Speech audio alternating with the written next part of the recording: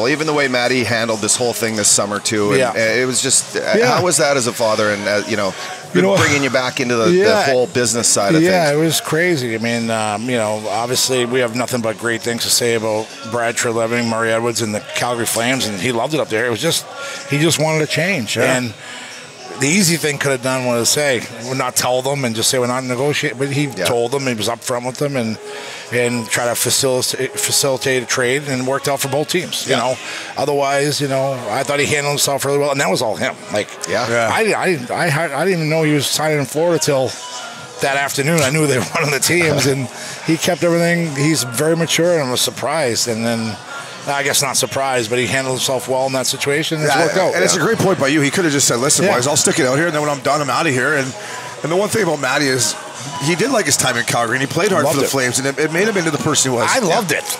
I know you I like lo- Cowboys. eh? You ever go to Cowboys or what? I caught you a few nights I at the know bar. the there. I know Cowboys how are- much you loved I it. aged out of that place.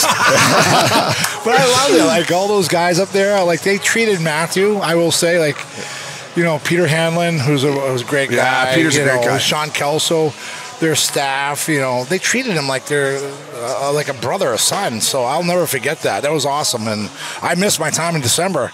Craig Conroy, you know, Con's a he's beauty. an awesome a beauty. He's a And. Brad Treliving is an awesome person. He is a great guy. You know, so I'll miss my trips up there, but you know. Yeah. This ain't so bad, but just get the SPF on. You don't want to fuck like, that. that you're like up. Conroy's a good guy, but he's not that good of a guy.